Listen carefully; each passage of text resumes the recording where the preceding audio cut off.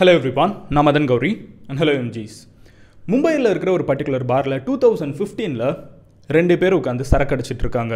நான் எவ்வளோ பெரிய ஆள் தெரியுமா? இந்தியாவோட மிகப்பெரிய டெலிவிஷன் சேனல்ஸில் ஒரு முக்கியமான சேனலான ஸ்டார் டிவி சிஇஓவோட ஒய்ஃபோட கார் டிரைவர் டானா அப்படிங்கிற ஒரு விஷயத்த சொல்கிறான் ஆப்போசிட்டில் இருக்கிறவன் இருந்துக்கிட்டு என்னப்பா இதெல்லாம் ஒரு பெரிய மேட்ரா அப்படின்னு கேட்குறான் பதிலுக்கு இவன் சொல்கிறான் இது பெரிய மேட்ரா இல்லாமல் இருக்கலாம். ஆனால் அந்த ஸ்டார் டிவி சிஇஓவோட ஒய்ஃப் இந்திராணி முகர்ஜி அவங்க தன்னோட சொந்த தங்கச்சியை கொலை பண்ணுறதுக்கு ஹெல்ப் பண்ணதே நான். ஏன்? அந்த கொலையப்போ என்கிட்ட இருக்கிற ஒரு துப்பாக்கி இன்னைக்கு வரைக்கும் என்கிட்ட இருக்குன்னு சொல்லிட்டு பாக்கெட்டில் இருந்த ஒரு துப்பாக்கியை தூக்கி பாரில் இருக்கிற அந்த டேபிள் மேலே போடுறான்.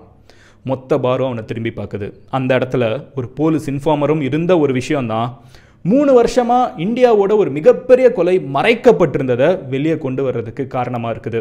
போலீஸ் இன்ஃபார்மர் வந்து போலீஸ்க்கு உடனே அலர்ட் பண்ணுறாங்க வெளியே போகிறப்போ அவனை போலீஸ் வந்து பிடிச்சிடுறாங்க. அவன் உண்மையை கக்குறான். ஆமாம் சார் உண்மைதான் சார் மூணு வருஷத்துக்கு முன்னாடி நான் இந்திராணி முகர்ஜி மேம் அவங்களோட டிரைவராக இருந்தேன்.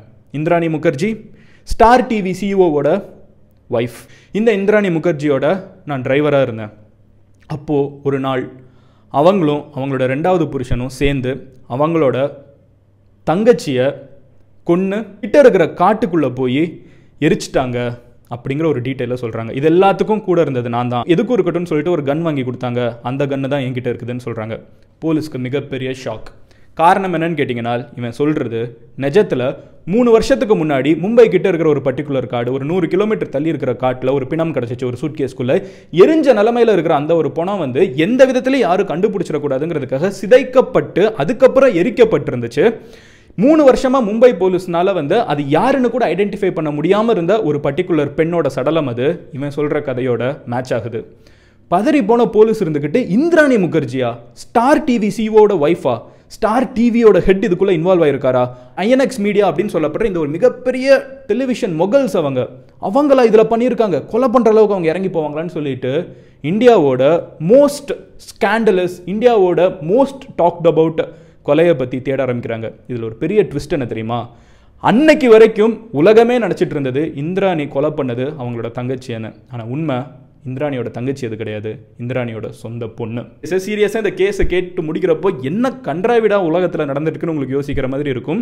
பட் எனிவே நான் ஸ்டார்டிங்ல இருந்தே இந்திராணியோட கதை and the most famous Sheena போராவோட case அவங்க கிட்ட சொல்ல ஆரம்பிக்கிறேன். ஷீனா போரா யாருன்னு கேட்டிங்கன்னா அதுதான் அந்த சூட் கேஸ்க்குள்ளே எரிந்த நிலமையில இருந்த பொண்ணு. மூணு வருஷமாக யாருன்னே தெரியாமல் அனாத பொண்ணமாக இருந்த பெண்ணோட கதையை அவங்க கிட்ட சொல்ல ஆரம்பிக்கிறேன். ஸோ முதல் விஷயம் என்ன அப்படின்னு பார்த்தீங்கன்னா இந்திராணி அப்படின்னு சொல்லப்படுற இவங்க இந்திராணி முகர்ஜி வந்து எந்த ஊருக்காரங்கன்னு பார்த்தீங்கன்னா அசாம்காரங்களாக இருந்திருக்காங்க. ஃபிஃப்டி இயர்ஸ்க்கு முன்னாடி அவங்க பிறக்கிறாங்க அசாமில் பிறக்கிறாங்க. தான் செவன்த் எயித்து படிக்கிறப்பமே வந்து ஃபர்ஸ்ட் டைம் லவ் பண்ண ஆரம்பிக்கிறாங்க. காலேஜ் படிக்கிறப்பமே லிவனில் இருக்க ஆரம்பிக்கிறாங்க. வீட்டில் அடிக்கடி சண்டை வந்துட்டு இருக்குது.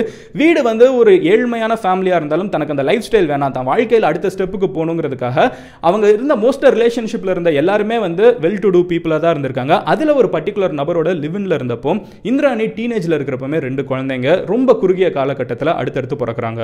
எஸ் அவங்க கல்யாணம் ஆகாமல் குழந்தை பெற்றுக்கிட்டாங்க இன்னைக்கு இருக்கிற காலகட்டத்திலே இந்தியாவில் இது ஒரு டேபுவாக இருந்தாலும் ரெண்டு குழந்தை பிறந்ததுக்கு அப்புறமும் வந்து இந்திராணிக்கும் அவங்களோட அந்த லிவின் பார்ட்னருக்கும் நடுவில் வந்து ஒரு பிரச்சனை வருது அப்படிங்கிற காரணத்தினால அவங்க என்ன பண்ணுறாங்கன்னு பார்த்தீங்கன்னா தனக்கு பிறந்த அந்த பையனையும் பொண்ணையும் வந்து அவங்க என்ன பண்ணுறாங்கன்னு பார்த்தீங்கன்னா தன்னோட அப்பா அம்மா கிட்ட விட்டுட்டு இனிமே இந்த குழந்தைய நீங்கள் வளர்த்துருங்க. என்னன்னா நீங்கள் தானே பாட்டி தாத்தா நீங்கள் வளங்க நான் என்னோட வாழ்க்கையை தேடி போகணும் அப்படின்னு சொல்லிட்டு கொல்கட்டாக்கு கிளம்பி போகிறாங்க கொல்கட்டாக்கு கிளம்பி போன இந்திராணிக்கு வந்து இன்னொரு ஒரு பர்டிகுலர் பிஸ்னஸ்மேன் மேலே வந்து காதல் உருவாகுது. அப்பா அம்மா கிட்ட இருக்கிற ரெண்டு குழந்தைங்களையும் வந்து இந்திராணி கம்ப்ளீட்டாக மறந்துட்டாங்க. தன்னோட வாழ்க்கையை வந்து ஸ்கிராச்ல இருந்து இந்திராணி கொல்கட்டாவில் ஆரம்பிக்கிறாங்க. அப்படி வாழ ஆரம்பிக்கிறப்ப அவங்களுக்கு விதி அப்படின்னு சொல்லப்படுற இன்னொரு ஒரு குழந்தையும் பிறக்குது. பட் அந்த குழந்தை பிறந்து கொஞ்ச நாள்ல என்ன ஆகுதுன்னு பார்த்தீங்கன்னா இந்திராணியோட ஃபர்ஸ்ட் ஹஸ்பண்ட் அண்ட் இரண்டாவது பார்ட்னர் கரெக்டாக அங்கே முதல் இதில் கல்யாணமே ஆகலே ஸோ இங்கே கொல்கட்டாவில் இருக்கிற ஒரு பர்டிகுலர் பிஸ்னஸ்மேனுக்கு என்ன ஆகுதுன்னு பார்த்தீங்கன்னா பயங்கரமான ஃபினான்ஷியல் லாஸ் ஏற்படுது.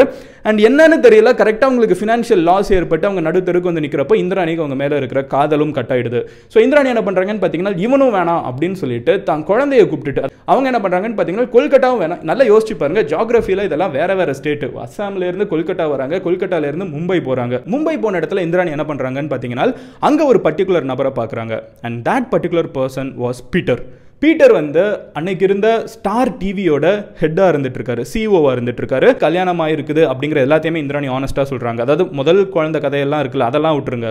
ஸோ ஷீனா போரா அந்த முதல் முதல்ல ஒரு பெண் குழந்தையும் பையனும் பிறக்கிறாங்க அதெல்லாம் சொல்லலை. பட் அஃபிஷியலாக கல்யாணமான அந்த கொல்கட்டா ஹஸ்பண்டை பற்றி மட்டும் சொல்கிறாங்க சொல்லிட்டு இந்திராணி என்ன பண்ணுறாங்கன்னு பார்த்தீங்கன்னா எனக்கு உன் மேலே விருப்பம் இருக்குதுன்னு சொல்கிறாங்க அந்த சைட் பீட்டரும் பார்த்தீங்கன்னா வந்து ஒரு டிவோர்ஸி அவங்களுக்கும் வந்து ஆல்ரெடி ரெண்டு பசங்க இருக்காங்க டிவோர்ஸ்டான ஸ்டேஜில் இருக்காங்க. ஸோ பீட்டர் என்ன பண்ணுறாருன்னு பார்த்தீங்கன்னா பரவாயில்ல எனக்கு ஒன்று ரொம்ப பிடிச்சிருக்குன்னு சொல்லிட்டு அவன் இந்திராணியோட விதி அப்படின்னு சொல்லப்படுற பெண் குழந்தை இருக்குல்ல அந்த குழந்தைய அவர் அடாப்டே பண்ணிக்கிறாரு. ரொம்ப நல்ல மனுஷனாக இருக்கார் பேசிக்காக இந்த ஸ்டேஜ் வரைக்கும். அடாப்ட் பண்ணிட்டு அவர் என்ன பண்ணுறாருன்னு பார்த்தீங்கன்னா எல்லாருமே ஒன்றா வாழ ஆரம்பிக்கிறாங்க. அதாவது பீட்டர் அவரோட ரெண்டு பசங்க அவங்க கூட சேர்ந்து பீட்டர் வந்து இந்திராணியோட பெண்ணம் விதி அப்படிங்கிற ஒரு பெண்ணையும் வந்து அடாப்ட் பண்ணிட்டு எல்லாரும் ஒன்றா சந்தோஷமாக வாழ்ந்துட்டு இருக்காங்க தன்னோட ஹஸ்பண்ட் கிட்ட மண்டைய கழுவி ஃபைனலி ஐஎன்எக்ஸ் மீடியா அப்படிங்கிற ஒரு ஃபார்ம் ஆரம்பிக்கிறாங்க. புதுசாக டெலிவிஷன்ஸ் வந்து ஹிந்தியில் ஏகப்பட்ட டெலிவிஷன்ஸ் மியூசிக்குன்னு மட்டுமே டெடிகேட் பண்ணுற மாதிரி நைன் எக்ஸ் அப்படிங்கிற பிளாட்ஃபார்ம்ஸ் நீங்கள் இப்போ பார்த்துருப்பீங்க. ஹிந்தியில் ஆரம்பிக்கிறாங்க அதுக்கப்புறம் பல லாங்குவேஜஸ்க்கு ஸ்ப்ரெட் ஆகுது. இது எல்லாத்துக்குமே வந்து இந்திராணியை வந்து ஹெட்டாக மாத்துறாரு. இந்திராணிக்கு எல்லாமே பர்ஃபெக்டாக இருக்குல்ல. இந்த நேரத்தில் வந்து இந்திராணி அடிக்கடி மும்பையில் இருக்கிற பப்ஸாக இருக்கட்டும் ஹஸ்பண்ட் கூட சேர்ந்து பார்ட்டிஸ் போகிறதா இருக்கட்டும் அண்ட் ஸ்டார் டிவி ஹெட்டோட ஒய்ஃபுங்கிறப்ப கண்டிப்பாக நிறைய டிவி அவார்ட்ஸாக இருக்கட்டும் அங்கெல்லாம் போகிறப்போ இந்திராணியோட பேர் வந்து மீடியா ஃபுல்லாக வர ஆரம்பிக்குது. அப்போ கவுஹாத்தியில் இருக்கிற எங்க? அவங்களோட ஒரிஜினல் அப்பா அம்மா இந்திராணியோட அப்பா அம்மா இருக்காங்கல்ல அவங்களுக்கு வந்து இந்த நியூஸ் பேப்பர்லாம் பார்த்துட்டு தெரிஞ்சுக்கிறாங்க. நம்ம பொண்ணு இவ்வளோ பெரிய ஆளாயிட்டாலே நம்ம வந்து ரெண்டு குழந்தைங்களையும் வளர்க்குறதுக்கு இவ்வளோ கஷ்டப்பட்டு இருக்கோம் ரெண்டு குழந்தைங்களும் டென்த்து படிச்சுட்டு இருக்காங்க ஓகேவா அதாவது ஷீனா போராவும் ஷீனா போராவோட தம்பியும் வந்து டென்த்து படிச்சுட்டு இருக்காங்க அப்போ அவங்க யோசிக்கிறாங்க நான் இவ்வளோ ஃபினான்ஷியல் கஷ் கஷ்டத்தில் இருக்கேன். இந்திராணி வந்து இவ்வளோ பெரிய பணக்காரியாக மும்பையில் வாழ்ந்துட்டு இருக்கா கொஞ்சம் காசு கொடுத்தா நம்மளும் பெட்டராக இவங்களை வளர்க்க முடியுமே அப்படின்னு சொல்லிட்டு அவங்க அப்பா லெட்டர் எழுதுறாங்க. இந்திராணிக்கு லெட்டர் எழுதி இந்த மாதிரி எங்களுக்கு ஃபினான்ஷியல் சப்போர்ட் வேணும். இந்திராணிக்கு வந்து இந்த இது வர்றப்போ நல்லா கவனிச்சுக்கோங்க. பீட்டருக்கு அதாவது இந்திராணியோட இரண்டாவது ஹஸ்பண்ட் இருக்காங்கல்ல இப்போ மும்பையில் அவங்களுக்கு அந்த ஃபேமிலியில் யாருக்குமே வந்து இந்திராணிக்கு டீனேஜ்லயே இந்த மாதிரி ரெண்டு குழந்தைங்க பிறந்திருக்காங்க அப்படிங்கிற எந்த விஷயமும் தெரியாது. டீட்டெயில்ஸ்லாம் வெளியே தெரிஞ்சால் நல்லா இருக்காது அப்படின்னு நினச்சிக்கிற இந்திராணி இருந்துகிட்டு என்ன பண்ணுறாங்கன்னு பார்த்தீங்கன்னா இது மூடி மறைக்கணும்னு நினைக்கிறாங்க. ஸோ என்ன பண்ணுறாங்கன்னா கவலைப்படாதீங்க. நான் உங்களுக்கு காசு அனுப்புகிறேன்னு சொல்லிட்டு மாதம் மாதம் நாற்பதாயிரம் ரூபாய் அப்படிங்கிற ஒரு அமௌண்ட்டை வந்து அங்கே அனுப்பிச்சிட்ருக்காங்க இந்த வாழ்க்கையை வந்து ஓகே காசு கொடுத்து மூடி வச்சிடலாம் மறைச்சிடலாம் அப்படின்னு நினச்சிட்டு இருக்கப்போ தான் இன்னொரு ஒரு பிரச்சனை ஏற்படுது. ஷீனா போரா அக்கா தம்பி இருக்காங்கல்ல முத முதல்ல பிறந்தவங்க. ஸோ அவங்களில் ஷீனா போரா வந்து கரெக்டாக ஸ்கூல் முடிக்கிறப்போ அவங்க தாத்தா பாட்டி வந்து உண்மையை சொல்கிறாங்க இதுதான் அவங்க அம்மா அப்படின்னு சொல்லிட்டு இந்திராணியை வந்து கை காமிக்கிறாங்க. ஷீனா இருந்துக்கிட்டு சரி நம்மளோட இவ்வளோ நாள் நம்ம கஷ்டத்தில் இருந்துட்டோம் நம்ம அம்மா தான் இவ்வளோ பெரிய ஆளாக இருக்காங்களே அவங்க கூட போய் வாழணும் அப்படின்னு நினச்சிட்டு இவங்க என்ன பண்ணுறாங்கன்னு பார்த்தீங்கன்னா ஷீனா போரா இருந்துக்கிட்டு இந்திராணிக்கு வந்து இந்த மாதிரி நான் அவங்க கூட வாழணும் அப்படின்னு நினைக்கிறேன் அப்படிங்கிற ஒரு விஷயத்தை இன்டிமேட் பண்ணுறாங்க சரி வா. ஆனால் ஒரு கண்டிஷன் நான் உன்னை என் தங்கச்சின்னு தான் சொல்லுவேன். பிகாஸ் நான் இங்கே பெரிய பெரிய பிஸ்னஸ் மேனோட இருக்கேன். நான் ஒரு பெரிய வாழ்க்கையில் வாழ்ந்துட்டு இருக்கேன். இப்போ வந்து எனக்கு இவ்வளோ பெரிய பொண்ணு இருக்கான்னு என்னால் இன்ட்ரடியூஸ் பண்ணி வைக்க முடியாது. நான் வந்து உன்னை என்னோட தங்கச்சின்னு சொல்கிறேன் நீ ஏற்றுக்கிறதுனா ஏற்றுக்கோ அப்படிங்கிறாங்க. ஷீனாக்கு வந்து பரவாயில்ல. நம்ம இந்த ஏழ்மையிலேருந்து நம்ம மும்பையில் இவ்வளோ பெரிய அம்மா பணக்காரங்களாக இருக்காங்க. போனால் மட்டும் போதும். அம்மா என்னானாலும் இருக்காங்க அப்படிங்கிற ஒரு ஆசையிலையும் வந்து ஷீனா அங்கேருந்து கிளம்பி வராங்க இந்திராணி தன்னோட பொண்ணை வந்து இவங்க வந்து என்னோட தங்கச்சி அப்படின்னு சொல்லிட்டு இன்ட்ரடியூஸ் பண்ணுறாங்க இங்கே தான் பிரச்சனை ஏற்படுது. அதாவது ஷீனா போரக்கும் இந்திராணியோட பொண்ணுக்கும் பீட்டரோட முதல் கல்யாணத்தில் உருவான ஒரு பர்டிகுலர் பையனுக்கும் காதல் வருது. ஸோ பேசிக்காக அவங்க ஆக்சுவலாக அண்ணன் தங்கச்சி. ஆனால் இந்திராணி வந்து என்ன சொல்லியிருக்காங்க? அங்கே எல்லாருக்கிட்டையுமே வந்து இது என் தங்கச்சின்னு சொல்லியிருக்காங்க. ஸோ முறை வந்து பிரச்சனை இல்லைன்னு அவங்க நினச்சிட்டு இருக்காங்க அதாவது அவங்க சைடு எல்லாரும் நினச்சிட்டு இருக்காங்க பட் உண்மை ஷீனா போராக்கும் தெரியும் இந்திராணி முகர்ஜிக்கும் தெரியும். அவங்க அண்ணன் தங்கச்சி அப்படிங்கிறது. ஸோ ஷீனாவை வந்து இந்திராணி வான் பண்ணுறாங்க அம்மா கூப்பிட்டு பொண்ணை வான் பண்ணுறாங்க இங்கே பாரு உனக்கும் எனக்கும் தெரியும். அவன் வந்து உன்னோட அண்ணன் முறை வேணும். நீ அவனை போய் கல்யாணம் பண்ண முடியாது. ஏன்னா அவன் என்னோட புருஷனோட மொத பையன். அவனை போய் நீ கல்யாணம் பண்ணணும்னு சொல்கிற நீ எனக்கு பிறந்திருக்க. அவன் வந்து உன் புருஷன் என் புருஷனோட மொத பையன். இது எப்படி கல்யாணத்தை ஏற்றுக்க முடியும்? இது வந்து முறையே ரொம்ப தப்பாக இருக்குது அதனால் அவனை மறந்துரு அப்படிங்கிறத சொல்கிறாங்க பட் ஷீனா இருந்துக்கிட்டு இல்லை இல்லை வாய்ப்பே இல்லை. எனக்கும் அவனுக்கு ரொம்ப பிடிச்சிருக்கு. நீ பண்ண தப்புக்காகலாம் நான் வந்து அவனை மறக்க முடியாது. எனக்கு அவனை ரொம்ப பிடிச்சிருக்கு. நான் அவனை தான் கல்யாணம் பண்ணுவேன் அப்படின்னு சொல்கிறாங்க இந்த ஒரு பர்டிகுலர் சுச்சுவேஷன் என்ன ஆகுதுன்னு பார்த்தீங்கன்னா இந்திராணி வந்து பயங்கரமாக ஷீனாவை மிரட்டுறது ஷீனா வந்து பதிலுக்கு இந்திராணி கிட்ட வந்து ஒரு நாள் வார்த்தையை விடுறாங்க நீ இப்படியே பேசிகிட்டு இருந்தேனால் நீ யார்? உனக்கு பின்னாடி இருக்கிற கதை என்ன?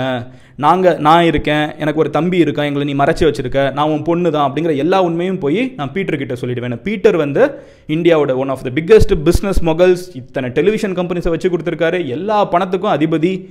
இப்போ வந்து இந்திராணிக்கு வந்து ஒரு பெரிய பிரச்சனை. தான் பெத்த பெண்ணை வந்து தன்னோட தன்னை பிளாக்மெயில் பண்ணுறா அப்படின்னு தெரிஞ்சவொன்னே இந்திராணி வந்து ஒரு டெசிஷன் எடுக்கிறாங்க.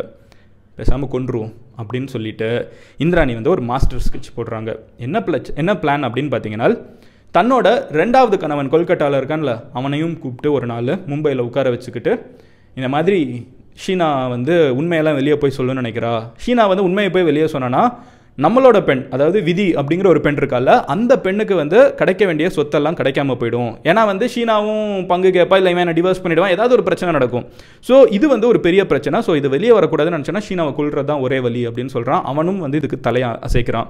ஸோ இவங்க ரெண்டு பேரும் சேர்ந்து அந்த ஒரு பர்டிகுலர் அவங்க வீட்டில் இருந்த ஒரு பர்டிகுலர் டிரைவர் ராய் இவங்க மூணு பேரும் சேர்ந்து ஷீனாவுக்கு அம்மாவே பொண்ணை கூப்பிட்டு ஒரு நாள் பேசி முடிச்சுக்கலாம் நம்மளோட பிரச்சனை எல்லாம் முடிச்சுக்கலாம் நான் உனக்கு ஒரு நல்ல விஷயமா சொல்கிறேன்னு கூப்பிட்டு கூப்பிட்ட இடத்துல போதை மருந்து கடந்த கலந்த ஜூஸை கொடுத்து அவளை மயக்கம் வர வச்சுட்டு மும்பையில் காருக்குள்ளே ஒரு ரெண்டட் காருக்குள்ளே வந்து அம்மாவோட கண்ணு முன்னாடியே முதல் கணவன் அவங்களோட கழுத்தை நெரிச்சு கொள்கிறான் நான் ரெண்டாவது கணவன் கொஞ்ச நேரத்துக்கு முன்னாடி சொன்னேன். அதான் கொல்கட்டா கணவன் வந்து கழுத்தை நெரிச்சு ஷீனா போராவை கொள்கிறான் அதாவது முதல் பார்ட்னரோட பிறந்த பெண்ணை வந்து கொள்கிறான் கொன்னதுக்கப்புறம் அந்த பெண்ணை வந்து ஒரு சூட்கேஸில் போட்டு ட்ரங்க்கில் வச்சிடுறாங்க. ட்ரங்க்கில் வச்சுட்டு அவங்க ரெண்டு பேரும் அவன் வந்து ஹோட்டலில் போய் தூங்கிடுறான். ஷீனா போராவை கொண்டதுக்கப்புறம் இந்திராணி வந்து அவங்க வீட்டுக்கு போய் தூங்கிடுறாங்க. எதுவுமே தெரியாத மாதிரி. மும்பையில் டூ தௌசண்ட் டுவெலில் இந்த கொலை நடக்குது. அன்றைக்கி நைட்டு ஃபுல்லாக வந்து அந்த டிரைவரும் அந்த பிணமும் அந்த காரோட ட்ரங்க்குக்குள்ளே அந்த பொண்ணோட பிணமும் இருந்திருக்கு.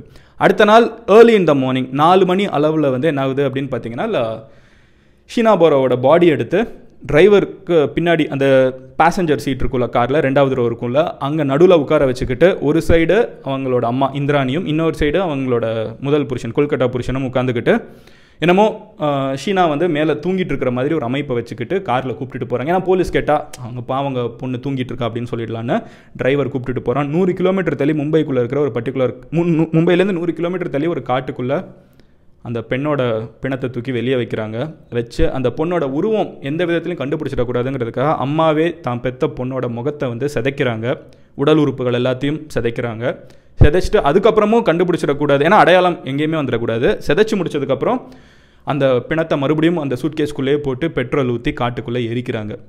எரிச்சதுக்கப்புறம் அங்கேருந்து கிளம்புறாங்க. இவ்வளோ பண்ண இந்திராணி வந்து மண்டை மேலே இருக்கிற கொண்டையை மறந்தது என்னன்னு பார்த்தீங்கன்னா அந்த பாடியை வந்து ஃபுல்லாக எரிக்காமல் விட்டுட்டு போயிட்டாங்க. அறகுறையாக எரிஞ்சிருக்குது. எனிவே இது கிளம்பி போகிறாங்க திரும்பி வந்ததுக்கப்புறம் யாருக்குமே சந்தேகம் இல்லை. ஆனால் அந்த லவ்வர் இருக்கான்ல அதான் தன்னோட பீட்டரோட பையன். அவன் இருந்துக்கிட்டு எங்கே அவன் என்கிட்ட நல்லா தானே பேசிகிட்டு இருந்தா எங்கே அப்படின்னு கேட்டுக்கிட்டே இருக்கான். அவனுக்கு இன்னும் சந்தேகம் வரக்கூடாது அப்படிங்கிறதுக்காக இவங்க அம்மாவே இந்திராணியே வந்து ஷீனாவோட ஃபோன்லேருந்து ஒரு மெசேஜ் எஸ்எம்எஸ் அனுப்புகிறாங்க இந்த மாதிரி உனக்கு எனக்கும் பிரேக்கப் ஆயிடுச்சு இனிமேல் என்னை தொல்லை பண்ணாத எனக்கு உன்னை பிடிக்கல எங்கள் அம்மா சொல்கிறத கேட்டுட்டு நான் வாழ போகிறேன் அப்படின்னு சொல்லிட்டு அம்மாவே தன் பொண்ணோட ஃபோன்லேருந்து லவ்வருக்கு மெசேஜ் அனுப்பிச்சிட்டு நான் யூஎஸ் கிளம்பி போகிறேன் அப்படிங்கிற ஒரு பொய்யான விஷயத்தையும் வந்து அந்த ஃபோன் மூலியமாக அனுப்புகிறாங்க எஸ்எம்எஸ் மூலியமாக அனுப்புகிறாங்க கணவன்கிட்டயும் சரி வேறு யாராவது பொண்ணு எங்கே அப்படின்னு கேட்குறப்பவும் சரி பொண்ணு வந்து யூஎஸ் படிக்க போயிட்டா அப்படிங்கிற ஒரு பொய்யை சொல்லிக்கிட்டே இருக்காங்க. சந்தேகம் வர இந்த ஒரு லவர் இருந்துக்கிட்டு இல்லை வாய்ப்பே இல்லை அவள் யூஎஸ் போயிருக்கவே மாட்டேன்னு சொல்லிட்டு அப்பா கிட்ட போய் கம்ப்ளைண்ட் பண்ணுறான் இந்த மாதிரி ஏதோ பிரச்சனை நடந்திருக்கு இவங்க பண்ண பண்ணாங்க அப்படின்றப்போ அப்பா இருந்துக்கிட்டு காதல் வலையில் இருக்காரு. அப்பா இருந்துக்கிட்டு என்ன ஆனாலும் இந்திராணி சொல்கிறது தான் கரெக்டாக தான் யூஎஸ் படிக்க போயிட்டான்னு சொல்கிறல நீ அவளை போட்டு தொல்லை பண்ணிருக்கங்கிறத கேட்குறாரு இப்படி கம்ப்ளீட்டாக எல்லாரும் மறக்கிற ஒரு பர்டிகுலர் நேரத்தில் தான் ஃபைனலி அந்த டிரைவர் சம்மந்தமே இல்லாமல் மூணு வருஷம் கழிச்சு எங்கேயோ போதையை போட்டு வளர்றதுல இவ்வளோ பெரிய கேஸ் வந்து அன்லாக் ஆகுது. போலீஸ் வந்து இந்திராணியை அரெஸ்ட் பண்ணுறாங்க கூட இருக்கிற அந்த கொல்கத்தா ஹஸ்பண்ட் அரெஸ்ட் பண்ணுறாங்க டிரைவர் அரெஸ்ட் பண்ணுறாங்க எல்லோரும் ஜெயிலுக்கு போகிறாங்க இத்தனை வருஷம் ஆயிடுச்சு. I think it's mean so many years right இத்தனை வருஷமாயும் இன்னமுமே வந்து ஷீனா சாதிக்கிற சாரி இந்திராணி சாதிக்கிற ஒரு விஷயம் என்னென்னு பார்த்தீங்கன்னா ஷீனாவை நான் கொலை பண்ணலை. ஷீனா வந்து யூஎஸ்க்கு தான் கிளம்பி போயிருக்கா அப்படிங்கிற ஒரு பொய்யை இன்னைக்கு வரைக்கும் சாதிச்சுட்டு இருக்காங்க. ஆனால் ஜெயிலுக்குள்ளே போயிட்டாங்க. இப்போ ஏன் நான் இந்த வீடியோ மேக் பண்ணுறேன்னு பார்த்தீங்கன்னா இத்தனை வருஷம் கழிச்சு இந்திராணிக்கு பெயில் கிடச்சி. அவங்க வெளியே வர்றாங்க. அது நேற்றுக்கு தான் நியூஸில் பார்த்தேன். ஸோ இந்த வீடியோ நான் மேக் பண்ணணும்னு நினச்சேன். இந்த வீடியோ நான் இதோட முடிக்கிறேன். பட் ஒரு முக்கியமான விஷயம் என்னன்னு பார்த்தீங்கன்னா உங்ககிட்ட நான் கேட்கணும்னு நினைக்கிற கேள்வி தாம் பொண்ணையே கொள்கிற அளவுக்கு ஒரு தாய் போகிறதுக்கு பணம் ஒரு காரணமாக இருக்க முடியுமா? இதுக்கு பின்னாடி நிறைய சொல் நிறைய பேர் சொல்கிற ஒரு ரீசன் என்னன்னு பார்த்தீங்கன்னா அது வந்து இந்த ரிலேஷன்ஷிப் பிரச்சனைலாம் செகண்டரிங்க அவங்களுக்கு சொத்து பிரியும். இல்லைனா சொத்து தான் இவ்வளோ பெரிய பேர் எடுத்து ஒரு சொத்துக்குள்ளே வந்திருக்கும். இதை வந்து அந்த கணவன் வந்து சந்தேகப்பட்டு வெளியே அனுப்பிச்சிட்டா இல்லை திட்டி வெளியே அனுப்பிச்சிட்டானா இந்த சொத்தும் போயிடும். பணத்துக்காக தான் இந்த கொலை நடந்திருக்கு. ஏன்னா பொண்ணே வந்து பிளாக்மெயில் பண்ண ஆரம்பிச்சிட்டா இதை போய் கணவன் கிட்ட சொல்லுவேன் அப்படின்னு சொன்னதுனால தான் இவங்க கொண்டிருக்காங்கன்னு சொல்லி ஒரு ஸ்பெக்குலேஷன் இருக்குது.